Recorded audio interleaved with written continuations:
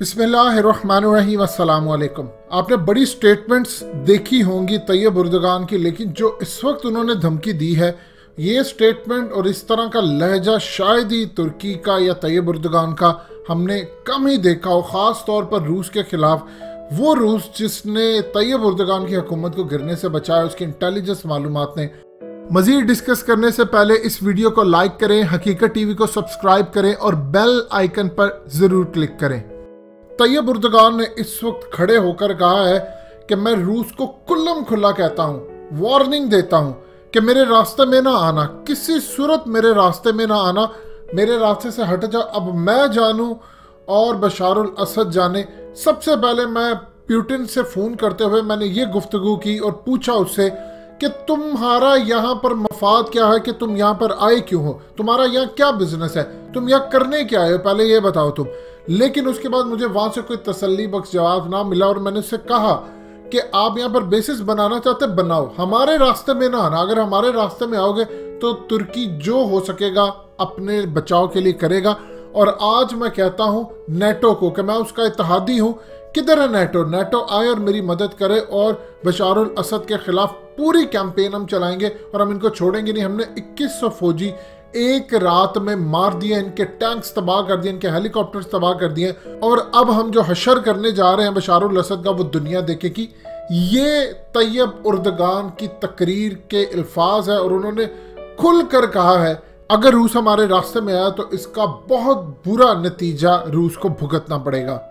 اس وقت دیکھیے، مسلمانوں کو کتنا نقصان ہے، ہمارا بلاک بنتے بنتے رہ گیا اور ایک عجیب و غریب صورتحال دیکھیں کہ سارے آپس میں لڑ گئے۔ ہیں روس اس وقت بشار الاسد کے ساتھ ہے، ایران بشار الاسد کے ساتھ ہے، اور سعودی عرب کے بھی اس وقت چونکہ وہ ترکی کے خلاف ہے، وہ بھی بشار الاسد کے ساتھ ہے۔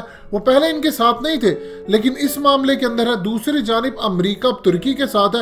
اور ترکی کا یہ کہنا ہے کہ اصل میں شام تو صرف ایک بہانہ ہے، ترکی اصل نشانہ ہے۔ اور یہ صورتحال سامنے آئی ہے کہ ہم اس وقت بچا نہیں پائیں گے ترکی کو۔ اگر ہم نے اپنا دفاع نہ کیا۔ دوسری جانب صورتحال بڑی عجیب و غریب ہے۔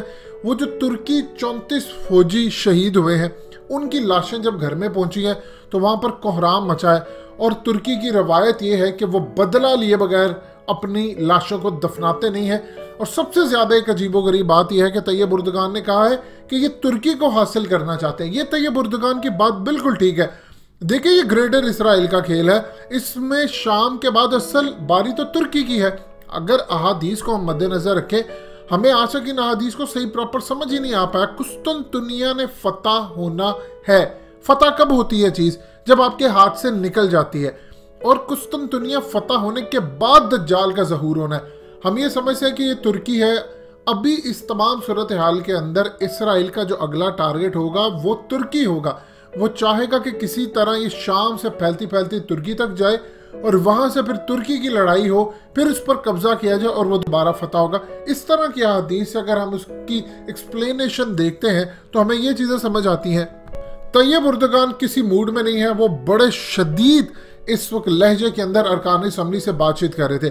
اور وہاں پر صورتحال یہ ہے کہ ان کی فوجیوں کی لاشیں جب آ رہی ہیں تو طیب اردگان کسی کی نہیں سننے والے، نہ وہ ترکی اس وقت سن رہا ہے، روس کی، نہ وہ کسی اور ملک کی سن رہا ہے۔ اور ان کا کہنا ہے کہ جو بیچ میں آئے گا ہم اس کو اڑا دیں گے۔ باہر آپ دیکھیں کہ کتنا زبردست ان کا اتحاد تھا۔ پچھلے دنوں بیٹھے، مذاکرات ہوئے، معاملات ہوئے، فون پر گفتگو ہوئی۔ لیکن اس وقت انہوں نے کہا ہے کہ آپ بیچ میں نہ آئیں اور خاص طور پر اس نے کہا ہے کہ تمہارا مفاد کیا ہے اس ملک کے اندر؟ تم اپنے معاملات کو اپنے تک رکھو۔ اب اگر آنے والے دنوں میں ایک بڑا امتحان پاکستان کے لیے بھی شروع ہوتا ہے کہ اگر کسی وجہ سے ترکی کے حالات خدا نہ حاصل اللہ کبھی بھی نہ کرے خراب ہوتے ہیں، تو اس تمام صورتحال میں کیا ہوگا؟ پاکستان کو اگر ترکی کے اندر کوئی حالات خراب ہوتے ہیں، تو اس کی تو مدد کرنا پڑے گی۔ اور وہاں پر جب ہم مدد کریں گے، تو باقی مسلم ممالک مثال کے طور پر ایران اس وقت وہاں پر ترکی کے خلاف ہے۔ بیک اینڈ پر وہ چاہے ساتھ کھڑا ہو۔ اور اسی طرح قطر کے معاملات باہر کچھ اور ہیں، شام میں کچھ اور ہیں۔ روس کے بیک اینڈ پر کچھ اور ہیں اور شام میں کچھ اور ہیں۔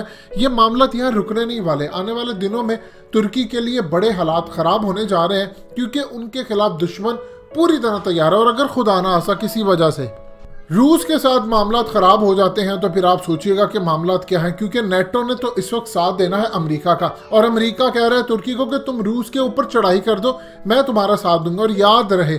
ہمیشہ ایک چیز یاد رکھنی چاہیے کہ کسی صورت امریکہ ساتھ نہیں دے گا، لیکن اس وقت اگر جنگ کسی بھی ملک کے اندر آتی ہے تو وہ پلٹ کر وار ضرور کرے گا۔ یہی اس وقت طیب اردگان کر رہے ہیں۔ اب یہ دیکھنا ہے کہ پیوٹن کے آگے معاملات کیا آتے ہیں اور روسی صدر کیا جواب دیتے ہیں۔